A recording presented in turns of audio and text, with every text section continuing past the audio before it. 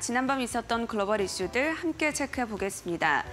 SVB 사태로 급락했던 은행주들이 회복세를 맞이한 지 단 하루 만에 이번에는 크레디트 스위스가 위기를 맞이했습니다. 최대 주주인 사우디아라비아 국립은행이 더 이상 지원을 하지 않겠다고 밝혔기 때문인데요. 스위스 2대 은행인 크레디트 스위스는 투자에 잇따라 실패하면서 2021년에만 10조 원이 넘는 규모의 손실을 기록한 바 있습니다. 그리고 지난해인 2022년부터는 파산 위기설이 돌기 시작했는데요. 지난 10월부터는 고객 예탁 자산도 급격하게 이탈했다는 보도도 나왔습니다. 그리고 지난 14일에 발표한 연례 보고서를 보면 21년과 22년 회계연도의 내부 통제에서 중대한 약점을 밝혔, 아, 발견했다고 밝혔는데요. 때문에 불안감은 계속해서 고조가 되는 분위기였습니다. 그리고 이런 상황에서 사우디 국립은행마저 추가 유동성 공급을 거부한 건데요.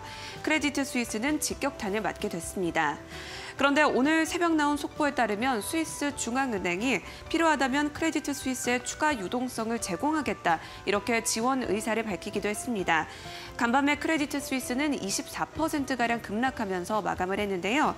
불거지는 우려를 어, 스위스 중앙은행이 잠재워줄 수 있을지 앞으로 계속해서 살펴보시면 좋겠습니다.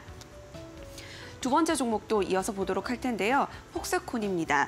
애플 아이폰 공급업체인 폭스콘이 올해 미국에서 전기차 관련 사업을 확대하겠다고 발표했습니다. 전기 트랙터와 전기차용 배터리셀을 미국 내에서 어, 생산을 하겠다고 밝힌 건데요. 폭스콘은 올해 전기차 관련 매출이 증가할 것으로 전망을 하고 있습니다. 그러면서 자율주행 전기 트랙터와 또 배터리 교체 모듈에 주목하고 있다고 전했는데요. 미국 위스콘신과 오하이오주에서 전기차 배터리 배터리를 생산할 계획이라고 전했습니다. 위스콘신에서는 에너지 저장 시스템을 구축을 하면서 배터리 셀과 배터리 패키지 용량을 늘리기 위해서 노력하겠다 이렇게 밝혔고요. 또 오하이오에서는 전체 차량에 대한 이 배터리 패키지 용량을 구축하겠다고 계획을 전했습니다. 이런 가운데 최근 미국에서는 보다 안정적인 공급망을 구축하기 위한 일환으로 전기차와 전기차 필수 부품들의 현재 생산을 강조하고 나섰는데요. 인플레 감축법의 세제 혜택 조건에도 이 현재 생산이 명시가 되어 있습니다. 있습니다. 폭스콘 역시도 이 같은 이유로 미국 내 전기차 사업 확대를 계획하고 있는 것으로 보이는데요. 향후 어떻게 발전을 해나가게 될지 지켜보시기 바랍니다. 다음은 챗 GPT와 관련한 소식을 보도록 하겠습니다. 챗 GPT의 개발사인 오픈 AI가 최신 버전을 내놨습니다. GPT-4로 불리는 모델인데요. 오픈 AI에 따르면 이전 모델인 GPT-3.5와 비교했을 때 GPT-4는 일상적인 대화에서는 차이가 미미할 것으로 보입니다. 그러나 오류가 크게 감소할 것이다 이렇게 전했는데요. 틀린 답이나 편향적인 사고에 대한 논란이 줄어들 것으로 보고 있습니다. 수치화하자면 9버전에 비해서는 29%가량 더 정확한 답변을 내놓을 것이다. 이렇게 설명했는데요.